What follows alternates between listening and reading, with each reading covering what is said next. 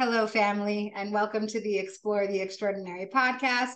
My name is Betty Guadagno, and today I am joined by Rich. Rich is a YouTuber. He has a tarot card channel. He has a podcast channel. And today we're going to talk about all things spiritual. I was actually on Rich's podcast a couple of months ago, and we have very similar paralleled stories. And so I always love the synchronicity of that connection. And um, yeah, I'm really excited that you're willing to come on and share your story with uh, with IANDS. So thanks so much, Rich. And I'm going to toss it right over to you to start sharing your experience. Okay. Well, um, actually, th- this is a story that I've just recently started putting out there because I'm very open about my story. Because similar to what you talk about, uh, I went from rock bottom to manifesting my wildest dreams. And I tell the story of how I went from being homeless and an alcoholic to, you know, learning how to manifest my best life. But there's a part of the story that I've kind of left out, and that is my near death experience. Because honestly, it's still kind of hard to tell because uh, it just sounds so silly, I think. But uh, anyway, though, back in 2014, I had just left my first marriage. It was a very, very toxic marriage. And my goal, at least my initial plan, was to pick myself up and start getting myself on my own two feet by myself so that I could then hopefully be a better father to my kids who were toddlers at the time. Uh, it didn't really work that way. I kept spiraling further and further downhill and was starting to become incredibly suicidal and uh, turned into a very, very heavy, heavy alcoholic. um, right around this time, my ex wife called me and said, I can't take the kids. I can't take care of them. You got to come get them. So, long story short, here I am, uh, full blown functioning alcoholic, now single father, spiraling downhill fast. And in addition to that, for years, my favorite subject to study and listen to and whatnot was near death experiences. And this this little obsession of mine didn't really help me spiraling downhill because I'm hearing all these amazing stories of you know how beautiful it is on the other side and the the beautiful white light and the unconditional love and all these you know receiving downloads of universal knowledge and information and whatnot. And the, and the more i hear this i'm just like man what am I doing here then? You know, if it's that awesome over there, I don't want to be here. So I'm spiraling downhill fast. Well, anyway, to to try to summarize it, at one point I got suspended from work uh, for showing up drunk, and I had just moved into this really creepy old house and I had found out that the woman who lived there before I moved in died in the living room.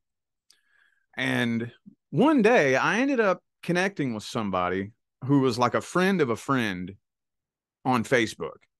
And one thing led to another. I said, Well, I'm suspended from work. I'm bored. Do you like to drink?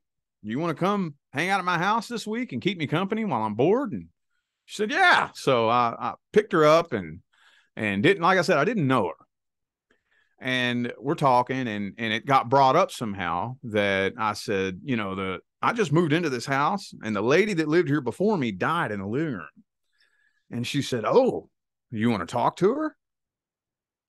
I was like, "What? What do you mean talk to her?" At this point in my life, I know nothing about anything spiritual or metaphysical or n- none of that that that was such a foreign idea to me. I didn't know what she was talking about.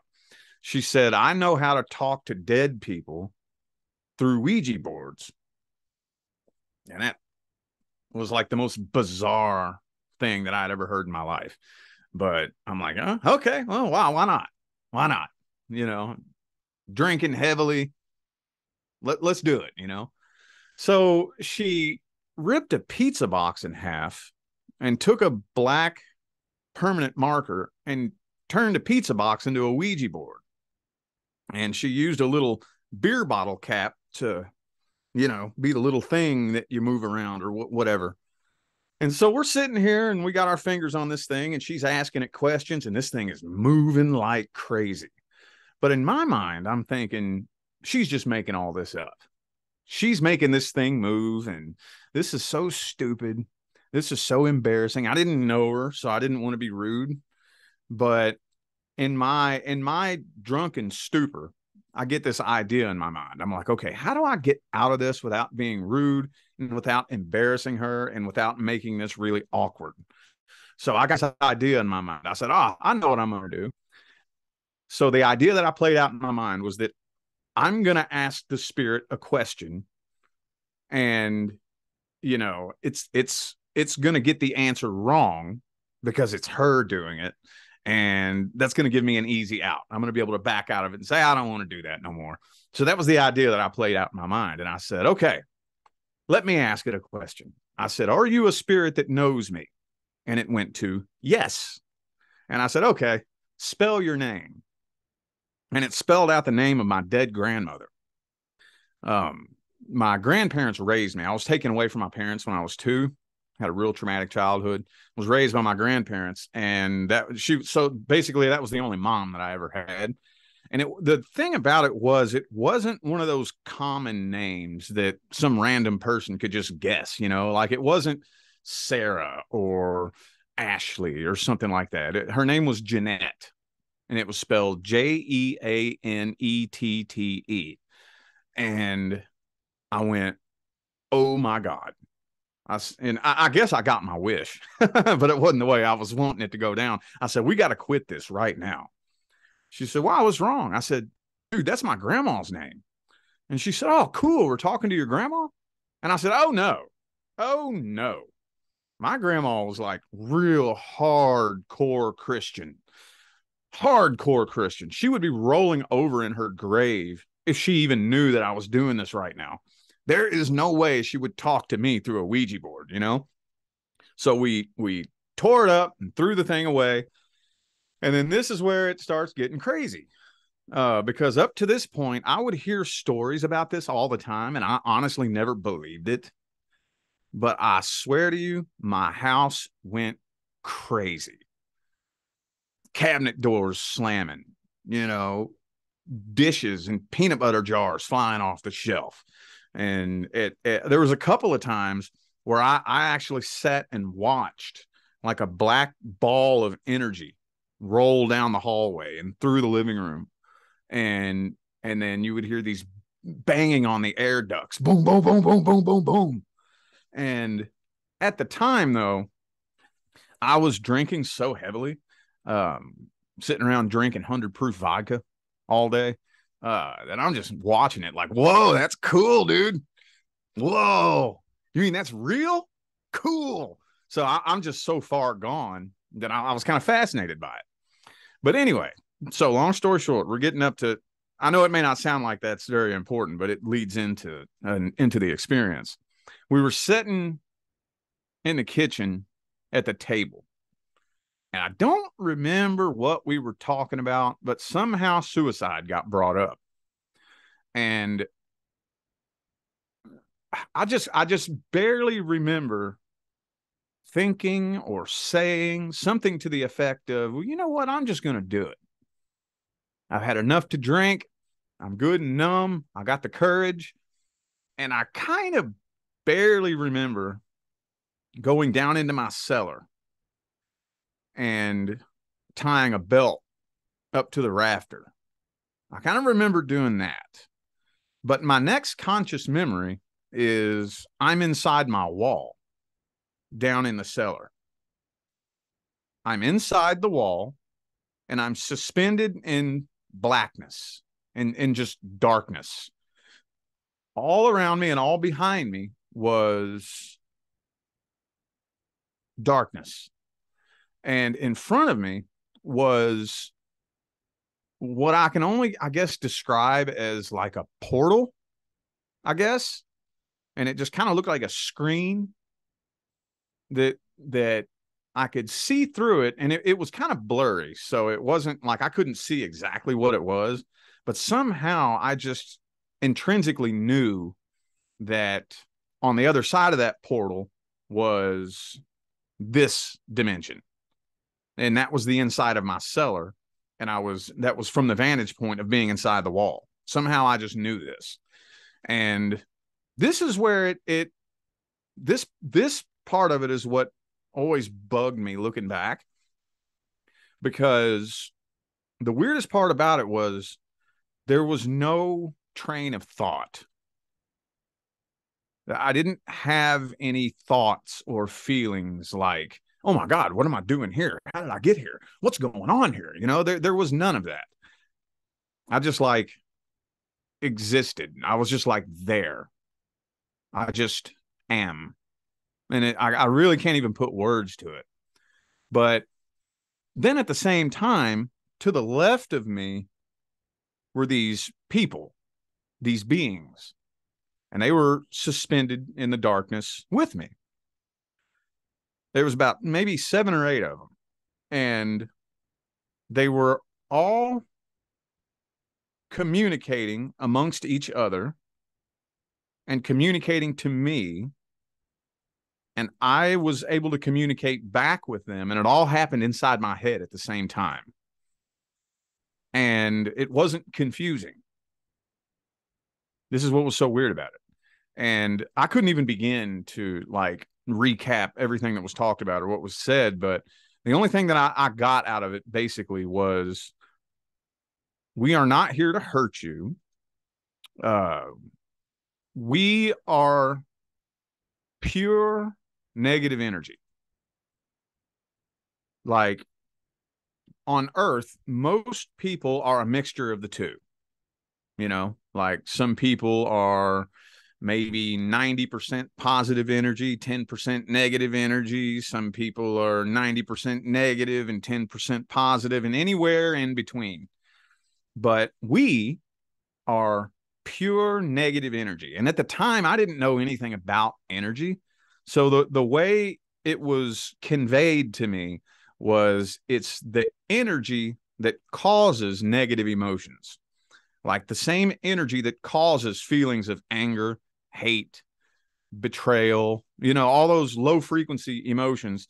We are the energy that causes those emotions. And you invited us in here. We're here because you invited us here. And that's basically it.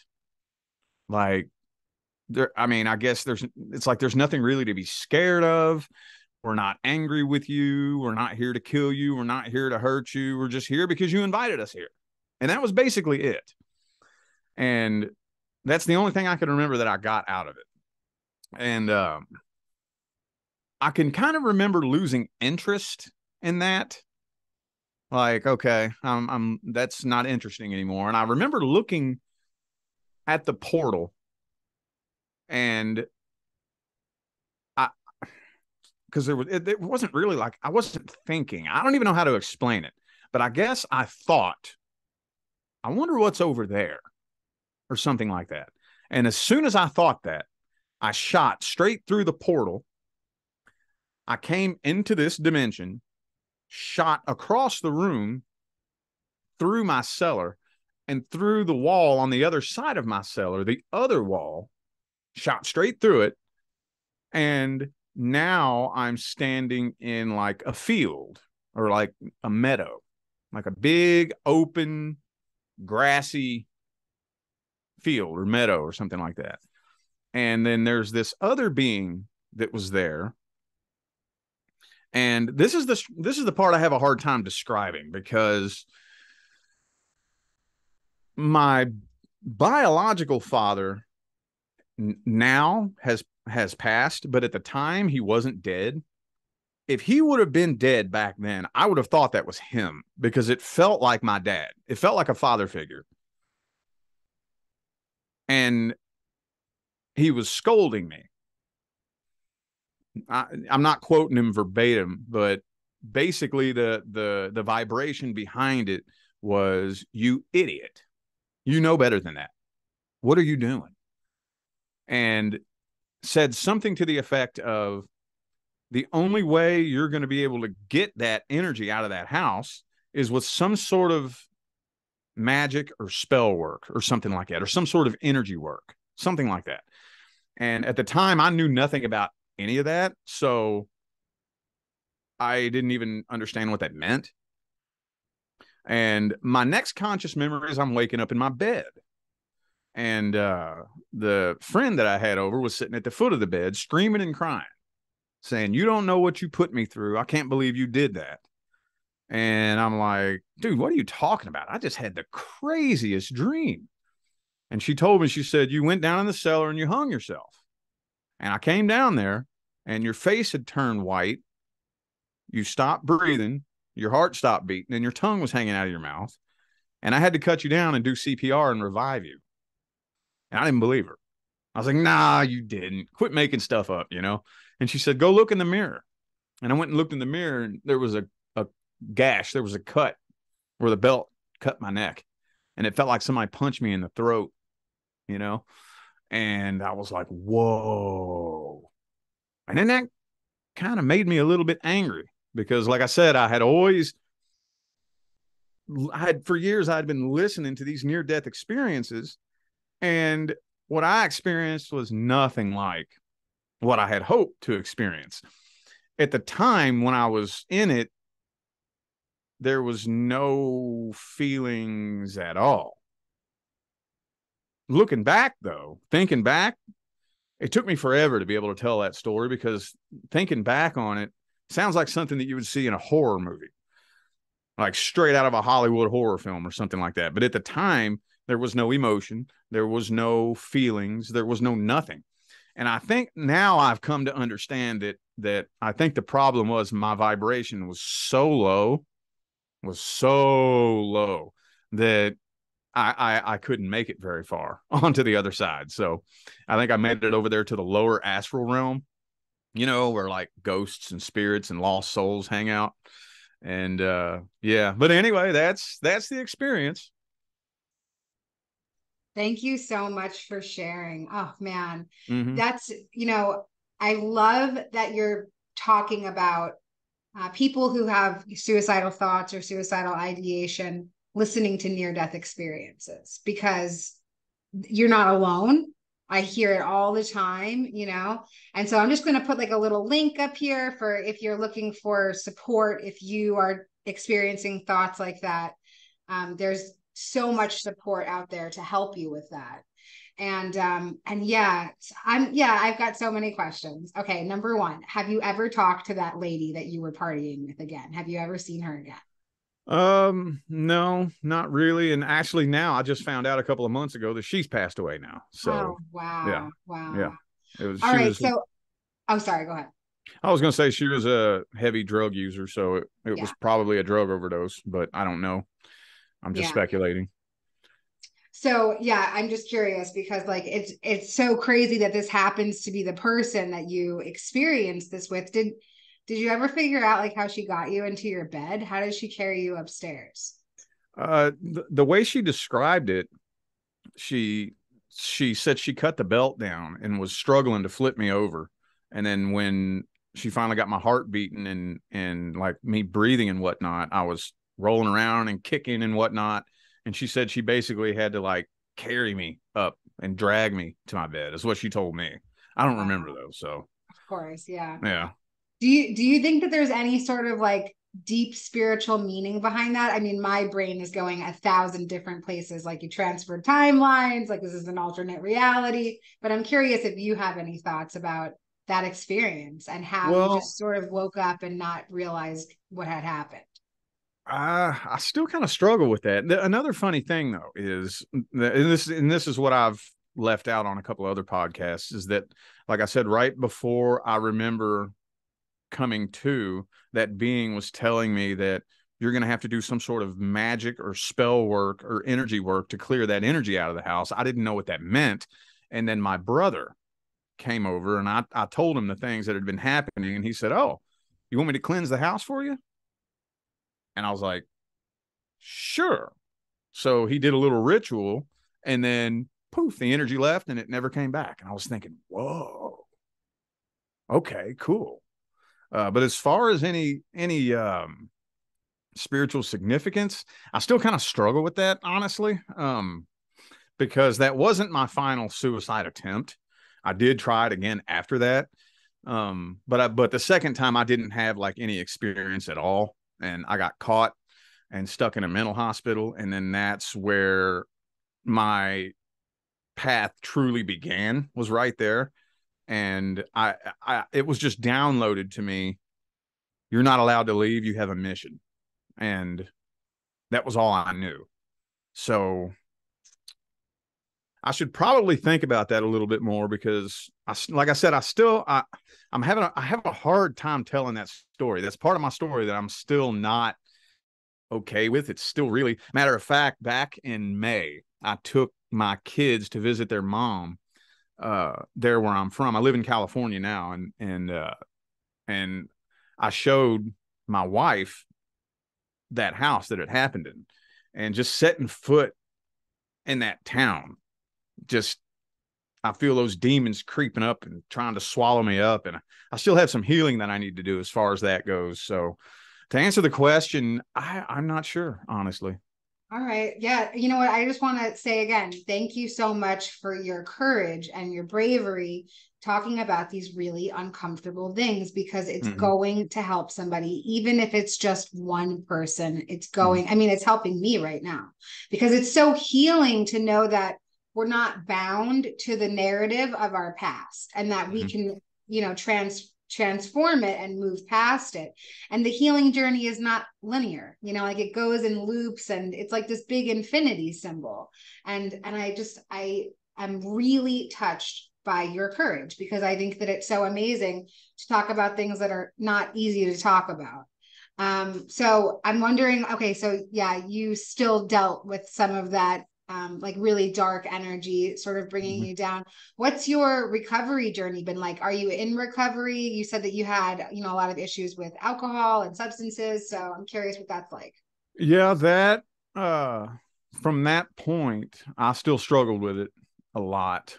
And um i've gone back and forth and on and off a few times. And then the last time i had a drink something very negative attached to me, very negative. And like, I mean, I drank for so many years. Matter of fact, I was always known for being so well functioning.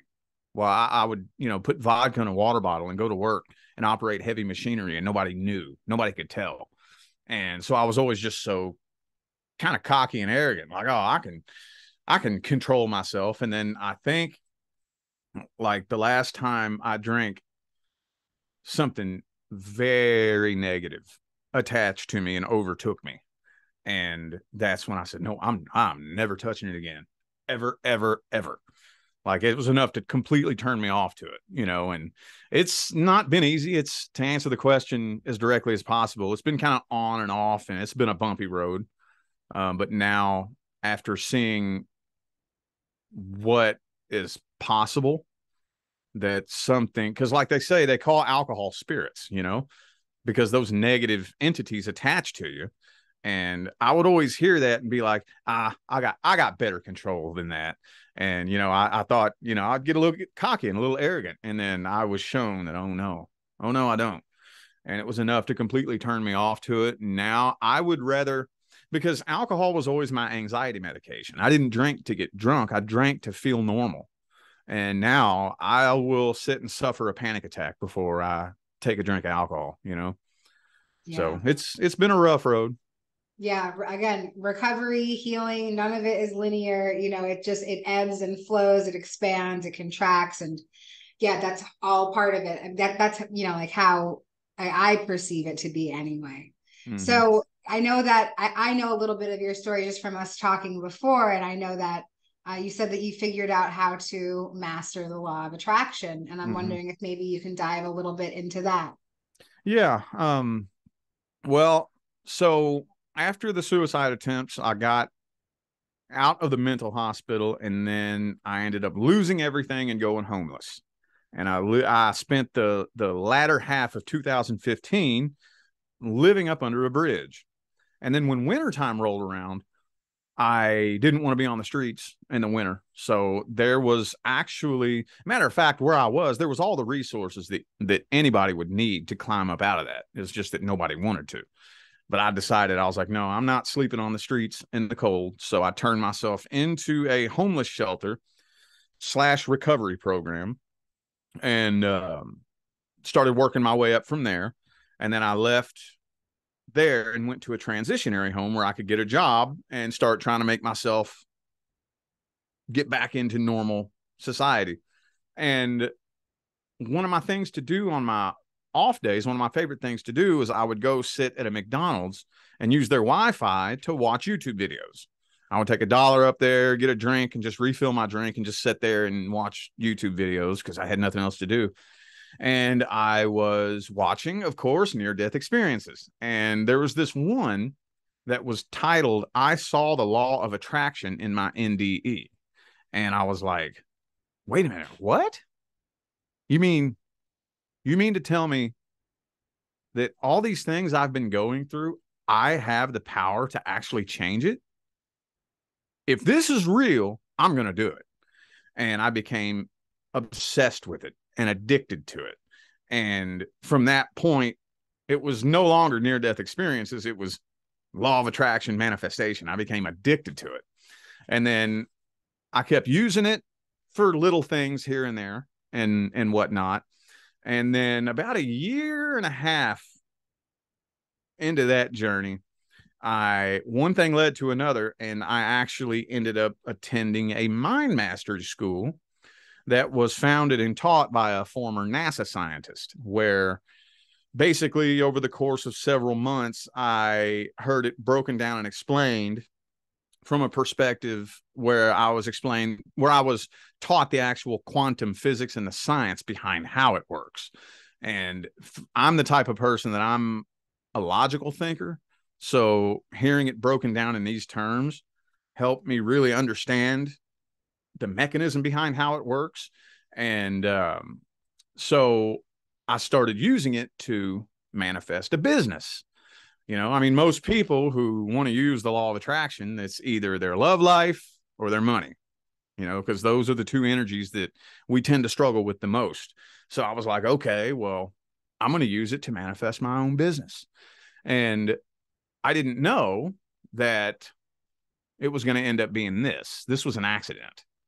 I'm, I'm a tarot card reader on YouTube, and that was an accident. I did not mean to manifest a tarot card reading business, but understanding how manifestation works and the science behind it. Long story short, nothing manifests while you're thinking about it and focusing on it. It can't because you're put you're pulling a clamp on the quantum field while you're thinking about it. So the biggest thing when it comes to learning how to manifest is you need to to know how and when to remove your focus so you can release the quantum field and let it flow with the intentions that you put into it. And that's when this popped off and blew up. And then my life arranged itself to the to the point where i had no choice. It was my only source of income. So i'm thinking well I, th- th- this whole tarot community and whatnot I don't even agree with the way that that community is structured to look at life in the world.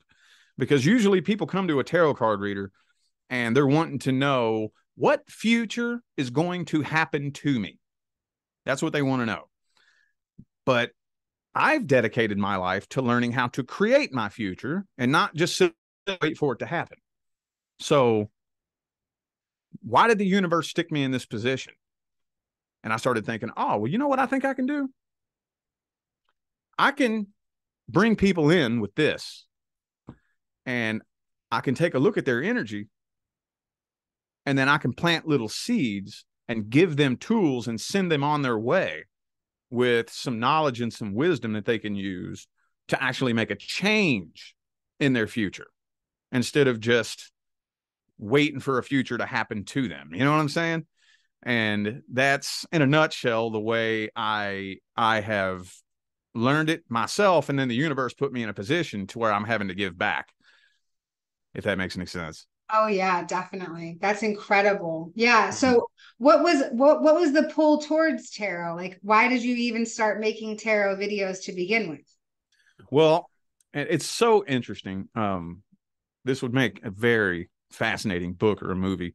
But on my journey, I eventually ended up traveling and traveling all across the country. I was like a feather in the wind. And then at one point, way I was living my life was at any given moment tomorrow, I could wake up and have to move to a different state. And I would just cross my fingers and meet random people and say, Hey, you need a roommate? I need a place to live. I'll help you with the bills. And I was just living life like this for a little bit.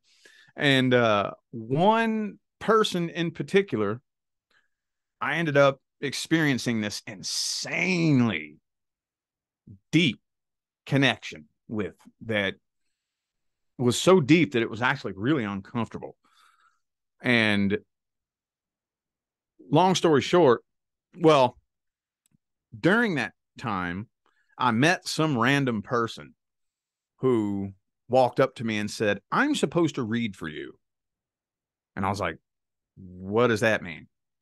And and she said, but for some reason, spirit is telling me I'm supposed to read for you. Do I have your permission? And I said, uh, I guess. So we exchanged phone numbers and she came and picked me up a few days later and took me to her house and started flipping these strange, funny looking cards all over the place and starts telling me details about my childhood that nobody knows. And it's freaking me out. I'm like, what? What in the world? And then there was, see, she was a psychic medium, but there was even one point where she said, there's somebody on the other side that wants to talk to you. And I was like, okay. And she said, who do you know that smoked a pipe? My grandfather. The day I came home and found him dead, I had just come from the store to buy him a pack of pipe tobacco. And I walked in the house and found him dead. So when she said that, I'm like, oh, whoa, you have my attention, you know? Anyway, so all all this stuff kind of happened there in one little time block where I met this person, experienced this really ins- insane connection, and then this random person gave me this creepy, accurate, scary tarot card reading. Long story short, I put all that behind me and I'm traveling, and now I'm up on the northeast coast of the United States, and I'm start getting these videos recommended to me tarot card reading videos in my YouTube feed. And my first thought was, that is the stupidest damn thing I've ever seen in my life. People watch this, you know?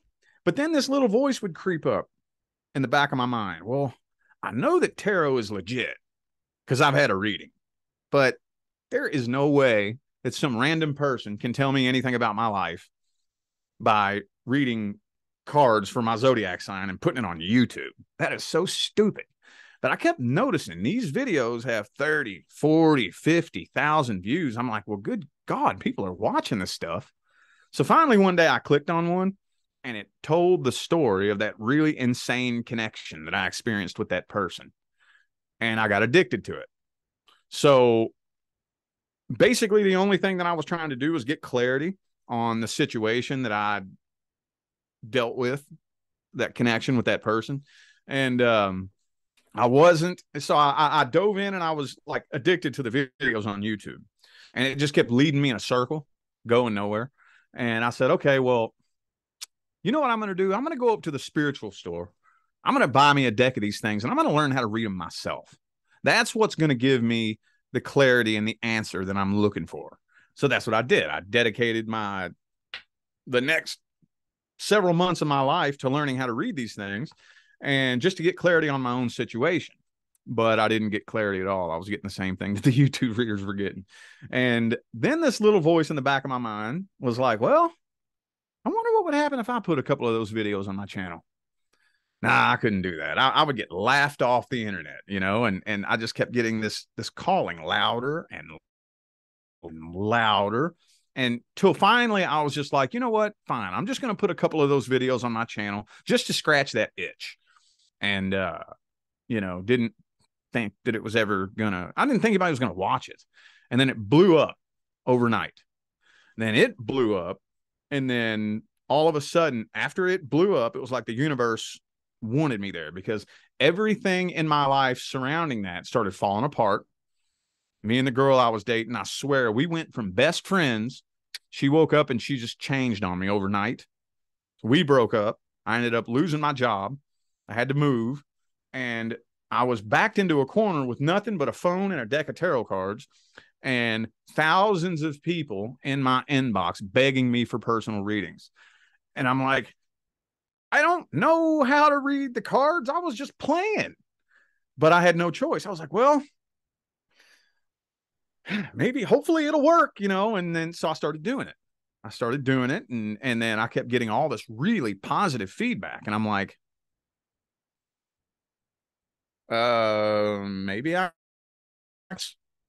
you know so I, I just kind of found myself shoved in that position but again I had a problem with it because it's it's a really dangerous thing to get addicted to because it can end up leading you spinning you in circles going nowhere and people can get addicted to it and dependent on it. So that's why i make it a really really strong point. If you ever watch any of the videos that i put on youtube or anybody comes to me for a reading i give advice advice advice. So like when somebody comes to me i want to give them their power back and teach them how to use it you know so that's the short version. Thank you for sharing that. Wow. Mm. And I love how you're talking about how the rest of your life kind of fell apart in order to actually make sure that you stay on this particular path. Mm-hmm. Because I think that that's a great reminder for people who are experiencing a challenge in letting go of maybe something from their past that perhaps that thing went away to keep you on a different path or to put you on a different path. So I really love that. And yeah, there's so mm-hmm. many awesome synchronicities in yeah. your story. That's totally incredible. So tell me what it's been like going from a skeptic to now a believer. I mean, that's what I'm getting from you anyway, that you were once a skeptic, like would not even, yeah, entertain the idea of sort of like spirits or anything. And now you, yeah, you're kind of on this very um very spiritual path. What is what has that yeah. been like? Well, it's uh, it's. I, I I guess you could say I was a skeptic. That's a good way to put it. But I've just been overly logical. Like I'm a I was always a really logical. I need the evidence first before I believe it. But at the time that it, basically it was learning how to manifest that taught me how to have faith and the the cool thing about that was I was at rock bottom when I first learned what law of attraction was. If I was at a point in my life where I was comfortable, had a decent job, money coming in, healthy relationship, I was comfortable, I would have scrolled past that and I wouldn't pay any attention to it. But it was because I was at rock bottom and I was desperate. So I was like, when I'm this desperate, I'll try anything. I don't care. And um, it's it so so that kind of makes looking back on everything that I went through make more sense. It's like, oh, now I see why I went through all that. And it's it's what's it been like? Difficult. Uh, because it requires you to let go of your identity, let go of a lot of beliefs, you know, that, that certain perspectives and viewpoints that you think, you know, you you see the world a certain way, you think you know, who you are. You think you know what this world is. You think you know what this life is. And and learning how to tap into something bigger especially if you want to create a life for yourself it's going to require you to shed a lot of that. Not only that but it's going to require you to be honest with yourself call yourself out on your own bullshit and and transform yourself from the inside out. And it's been rough but i think it gets easier for me personally after a certain point, I kind of got addicted to that discomfort, that the discomfort and the uncomfortable feelings that come along with it. Once I started seeing the results, and once I started seeing how amazing now, you know, I um, have a, a, good job where I'm self-employed, uh, married to my life partner, my wife, and she's my business manager. She runs the business. I got my kids back, and after seeing the amazing results that can happen in life, it doesn't make it any easier really? It's kind of like to me i always equate it to like physical fitness and going to the gym. It doesn't get easier but once you start seeing the results it gets you kind of addicted to it if that makes sense you know? Oh yeah completely. And yeah just hearing that transformation that arc of the story of like reunion and transformation it's so inspiring you know i'm mm-hmm. yeah i'm really grateful that you were willing to come on and share all of these really vulnerable pieces of yourself like it is not easy to do that something that you said that maybe we could touch on just a little bit before we wrap up talking about rock bottom. Me too, mm-hmm. me too, me too. My story definitely, my transformation took place in the pit of desperation in the bottom of rock bottom. But that doesn't necessarily have to be that way for everybody. Like you do mm-hmm. not have to hit a bottom like we did in order to transform. And I think that's why we come back with these stories. And I think that's why spirit calls us to tell our stories so that it can be it can be a guide a guidepost like in your own journey. And there's definitely a way to hit a spiritual bottom that does not necessarily reflect your outer world. And um and yeah you know like i just want to say like if anybody's looking for support uh, at IANDS, we have a bunch of sharing groups that if you're looking for support, like on your spiritual journey, I'll put a little link right here. You can click on that and join our sharing groups. And there's just so much support. I'm sure that Rich would be open to being contacted. I'm definitely open to being contacted. You can find our information in the liner notes of this. And yeah, is there anything else that you'd like to share about Rich to feel more complete about our time today? Well, I, I actually, it's uh, good that you said what you said because that's one of the biggest messages that I try to put out is that you don't have to wait till you're at rock bottom um it's i would not recommend doing it the way that i did it. Uh i'm personally me as an individual i am insanely stubborn insanely stubborn. And that energy of stubbornness can be your greatest asset or your biggest liability depending on how you're channeling and focusing that energy. So yeah it it would be best not to wait till you hit rock bottom. Um most of us though i think most of the people in their life mm, never really see much of a change.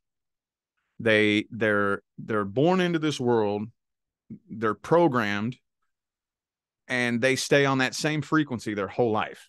And they're kind of sitting around and waiting for something to change.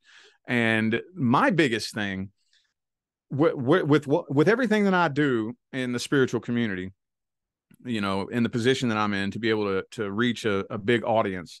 What i always want to do is i want to bridge the gap between spirituality and all these other little groups and cliques and whatnot. Because if you look at the population you see everybody's divided into a bunch of little groups. And there's just little groups here little groups there and everybody's looking for the little group that they want to fit into. And spirituality is no different. It's another little group over here too. And it's like, no, we we need to to figure out. I want to be able to figure out how to say that one thing that I don't care who you are, I don't care where you're from, I don't care what group you fit in background is. You can figure out how to apply the stuff to your life.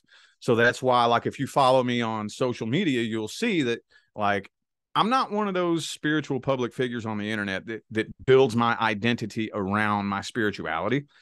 Um, I integrate spirituality into all aspects of my life. So, like if like on my Instagram, I'm posting about fitness. I'm into fitness and gardening and and all my other regular family hobbies because, like I said, the we I think it's very important in the day and age that we're in right now to to help people awaken and and true real authentic spirituality that anybody can relate to is my goal and my mission. So you see a lot of you know people in the, the spiritual community who some people like to put on this theatrical production and and put on this little act that is is really you get get you addicted to it. It's entertaining to watch but a lot of people have a hard time connecting with it you know when when my goal is to help everybody understand we're all regular people. I don't care who you are i don't care what you've been through you can you can take your power as a creative being and you can apply it to your life and and create whatever kind of life you want. You don't have to wait till you're at rock bottom. If you i don't care if you're a, a sports nerd that likes to go to the bar and drink a beer and watch the game and and whatnot. Uh, you can still if you don't like the life that you're at if you would rather create something bigger and better you can start manifesting your reality. It doesn't matter. You don't have to be one of these spiritual people that that floats on a cloud and drinks their green smoothie you know you, you don't have to be that is that, does that make any sense? You see where I'm getting with this? Absolutely. Listen, if Rich and I can manifest our realities, then you can do anything, like literally, you know? Uh, and yeah, you know, I and I really think that people connect to authenticity, which is another mm-hmm. reason why I'm so grateful that you came out here and you shared your authentic self. You know, like mm-hmm. whether your story is the same as somebody that listens to it or not, your in the vibration of your truth. And that's really like what that's what i think spirituality and the spiritual journey is all about. Mm-hmm. so yeah we're going to have all your links in the liner notes of this episode. And i just want to thank you one more time for coming out here and and being so willing to serve our community. Absolutely. Yeah. Thanks so much. We'll see you thank next you. time